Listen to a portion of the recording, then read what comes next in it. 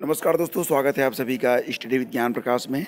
अभी थोड़ी देर पहले इलाहाबाद हाई कोर्ट की एआरओ परीक्षा जो हुई थी तो उसका जो रिज़ल्ट है वो आउट हो गया है, टीयर वन का। और जैसा कि पहले से अनुमान लगाया जा था कि सीटों की संख्या काफ़ी कम थी और इसी के साथ साथ क्वेश्चन पेपर जो थे वो काफ़ी सरल प्रकृति के थे।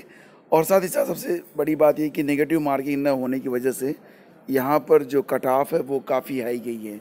अगर आप जो ऑफिशियल वेबसाइट है वहाँ पर जाकर इस पीडीएफ को प्राप्त कर सकते हैं और देख सकते हैं।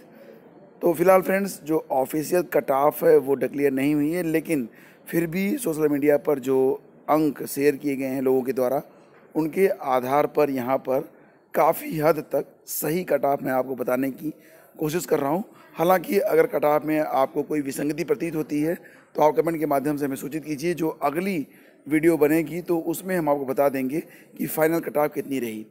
फ़िलहाल फ्रेंड्स अगर हम बात करें यहाँ पर तो जनरल कैंडिडेट के लिए जो कट ऑफ़ है, वो एक सौ सत्तावन है, जबकि ओबीसी के लिए जो कट ऑफ़ है, वो एक सौ उनसठ है। अब आपके मन में एक सवाल ये आ रहा होगा कि ओबीसी की कट ऑफ़ जनरल से हाई क्यों गई?